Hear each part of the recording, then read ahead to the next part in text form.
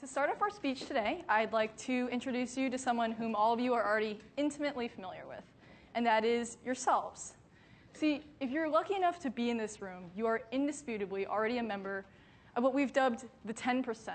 Congratulations. For better or for worse, you have no part in and very little knowledge about what the Cooper Hewitt Design Museum has dubbed the other 90%. And when I say that, I'm not talking about you know, the 99% of our Wall Street riots. Now, this is the true global majority. These are patients who are living on too little water, too much uncertainty, day in and day out of their lives. And if this represents the 10%, if this is us, then this is the other 90%. In fact, it's not even that, but rather the core of a population whose boundaries stretch much farther and much wider. I want you to think about that a moment. Two billion people without access to local health care, that's a staggering number. And, and what that means is that, you know, we have divorced our reality of, of the people who have and the people who do not. And in fact, when we look at the, when we consider the 2 billion who do not have access to health care, that doesn't include a much larger population. It doesn't include the patients who in fact do have local clinics, but where the staff is poorly trained or where the equipment is outdated or all but non-existent. In fact, studies have tended to show that the patients in these areas will actually tend to avoid the clinics, even those that have been painstakingly built in certain areas, because they, like we would, fear the quality of care. Without local access to health care, there's many, many things that can happen. You know, if we don't contain the spread of a disease at one point, it can very quickly begin to grow, to become much more than a single contained problem. There is, however, a solution, and that is to connect the patients directly to doctors, to sidestep the traditional methods of diagnosis and care, and find a method of bringing the, the doctor to the patient so that where they live or what they have does not necessarily limit the health care that they, have, that they have access to.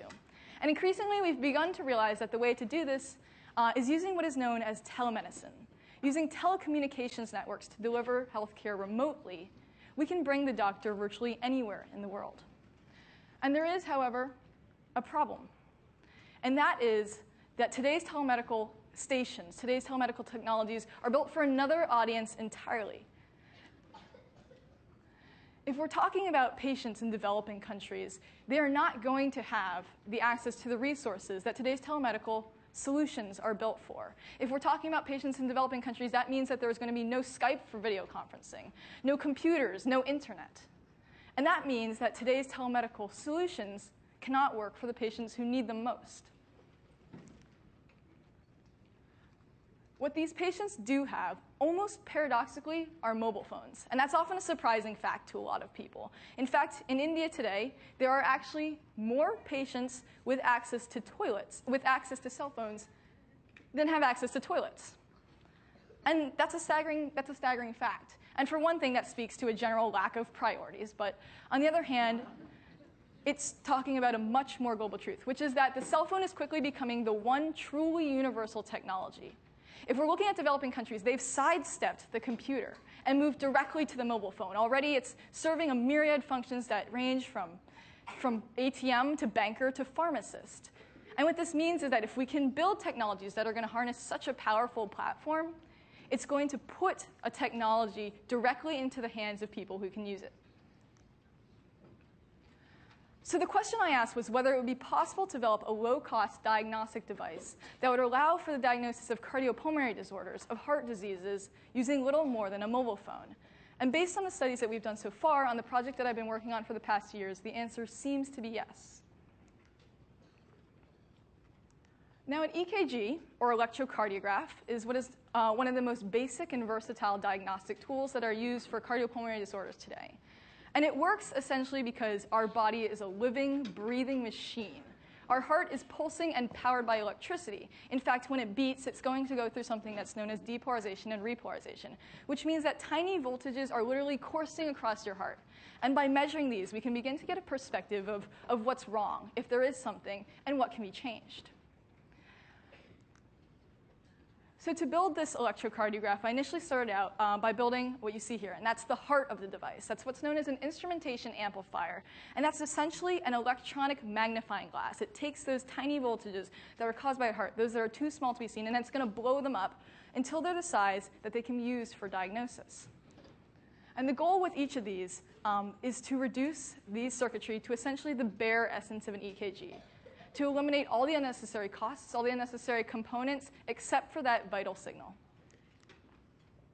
From there, those voltages are then transmitted to a microprocessor board, and that's just a fancy word for a tiny computer on a chip. It's enabled by Bluetooth, so it's not restricted by what mobile phone platforms it can run on. Uh, and from there, it's going to send those voltages as numbers over and over again to a mobile phone.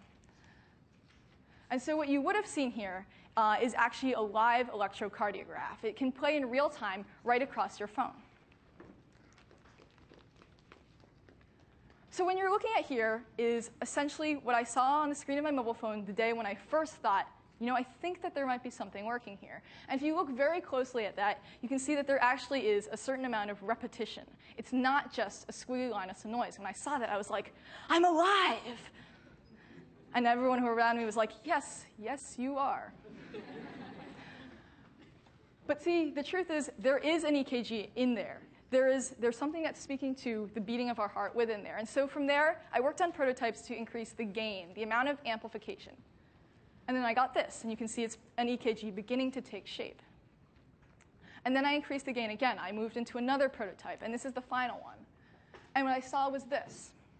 And so that's a real EKG. If you, if you know anything about medicine, you'll know that um, to diagnose a cardiopulmonary disorder using an EKG, you need to look for what's called the PQ and RST waves. And those are just fancy words for dips and, and dives in the wave that are there and that are needed to make a diagnosis. And all those are present.